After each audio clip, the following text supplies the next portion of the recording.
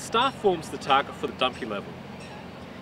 What you'll see is a series of one centimetre gradations up and down the staff.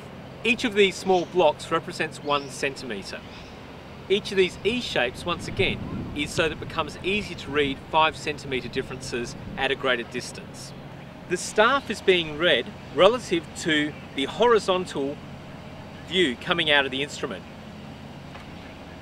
If, for instance, we got a reading of 1.0, that means the ground surface is 1.0 meters below the height of that horizontal plane coming out from the instrument.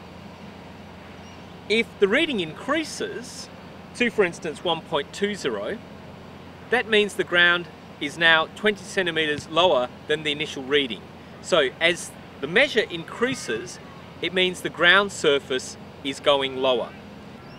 Once you have your instrument level and you're looking through the eyepiece, the person holding the staff needs to hold it absolutely vertical. Make sure you keep your hands away because undoubtedly what will happen is when you're in the far distance, you will be holding exactly over where the person behind the instrument is trying to read. So hold the staff like this. Preferably stand directly behind it so that you can aim it at the instrument and keep your hands clear. Remember you are trying to aim your instrument so that the vertical crosshair lines directly along the centre of the staff. Once you've achieved that, then look to the horizontal crosshair. Say for instance, your centre horizontal crosshair crosses at that point there. That would be a reading of 1.20 metres.